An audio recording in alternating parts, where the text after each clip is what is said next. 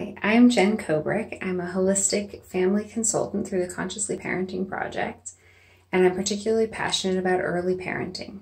I live in Central Florida in the US with my space geek husband, my dog, and two small humans, currently 4.5 and 15 months.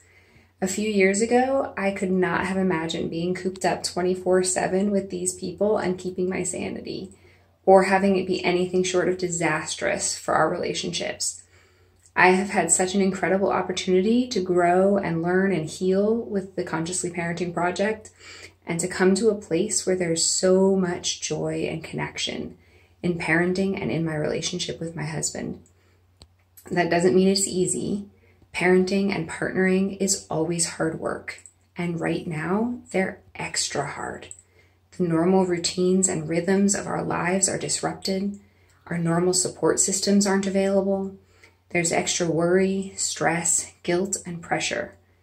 I'm seeing so many people parents, kids, grandparents, young adults really struggling right now. I can't make this an easy time to be in. But I believe that now is a time more than ever that people need to be supported, to be seen and heard, to feel acceptance and loving kindness, and to have tools that support connection, healing, and communication in their relationships. So that's what I'm offering.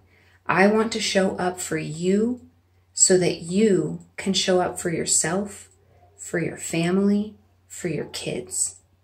Together, we can be the change in our families, our communities, and in the world.